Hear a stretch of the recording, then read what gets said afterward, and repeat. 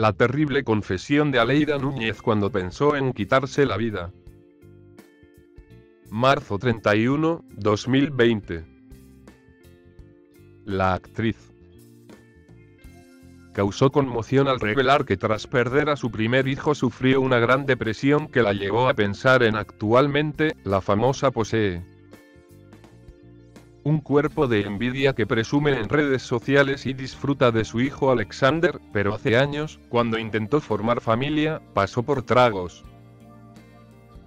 Amargos. El diario Unión Jalisco relató que Aleida Núñez estuvo en un momento difícil cuando perdió su primer bebé y por un año lidió con la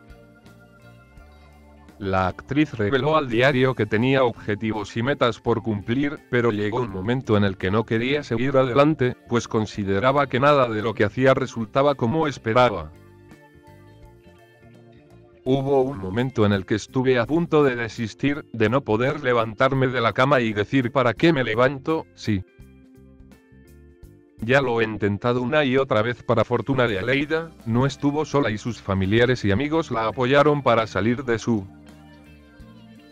depresión que la hacía pensar en quitarse la vida. Núñez agregó que este proceso de recuperación no lo realizó sola, sino con ayuda de expertos en salud mental, quienes la guiaron para superar su depresión y volver a creer en ella misma.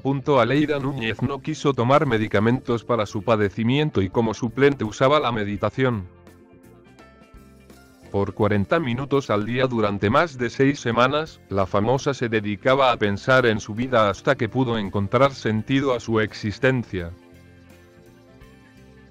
Aleida destacó que muchas personas atraviesan por momentos de depresión, por lo que los invitó a buscar ayuda psicológica y no dejarse vencer, pues siempre hay motivos para seguir adelante. En su caso, pudo convertirse en madre y ahora disfruta de la compañía de Alexander, su pequeño al que adora.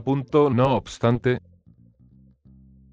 Núñez fue enfática en reconocer que solo uno mismo puede sacarse de la depresión, pues aunque se tenga apoyo de especialistas, si alguien no quiere cambiar su estado, seguirá igual. Después de aquella amarga experiencia, Núñez se casó en 2007 con el empresario Pablo Grogovsky, padre de su hijo Alexander. Sin embargo, tras 10 años de matrimonio, se divorciaron y Aleida volvió a tomar terapia con su hijo para asimilar el suceso. Con información de Unión. Jalisco, Imagen Radio y Novelas Portada. Youtube As 3, Instagram arroba Aleida Núñez y Pixabay Interiores. Instagram arroba arroba Aleida Núñez y Freypic.